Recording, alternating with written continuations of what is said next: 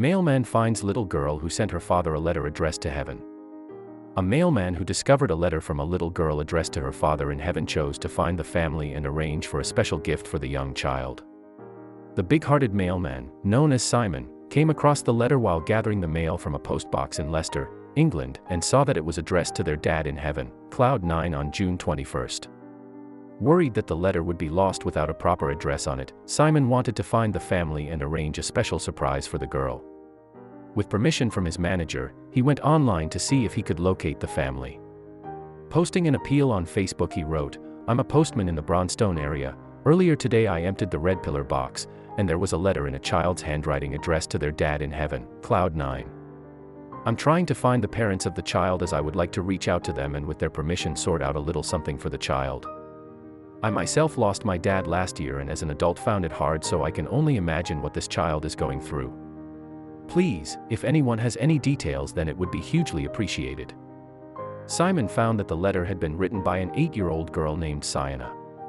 Mom Sarah Tully said she couldn't believe the response the post received, I never thought this would happen. I'm in shock, she told the BBC. Sarah said they had lost her daughter's dad, Tony, when Sienna was just four months old, and she is only just starting to understand. Simon said it took just 15 minutes to contact the family and arrange for the unopened letter to be returned.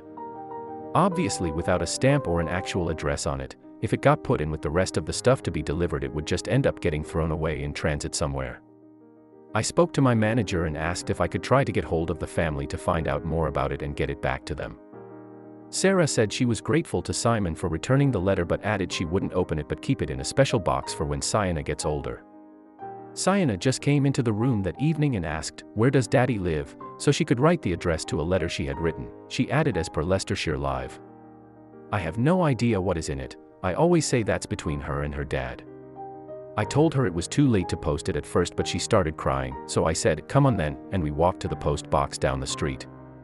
In an update on Facebook Sarah posted a picture of the gift her daughter had received from the big-hearted mailman writing, The gift Simon the postman brought my daughter, this has been a very touching time for us, it's been overwhelming thank you to you all X. Advertisement. Help us celebrate this beautiful gesture from Simon by sharing this amazing story with others.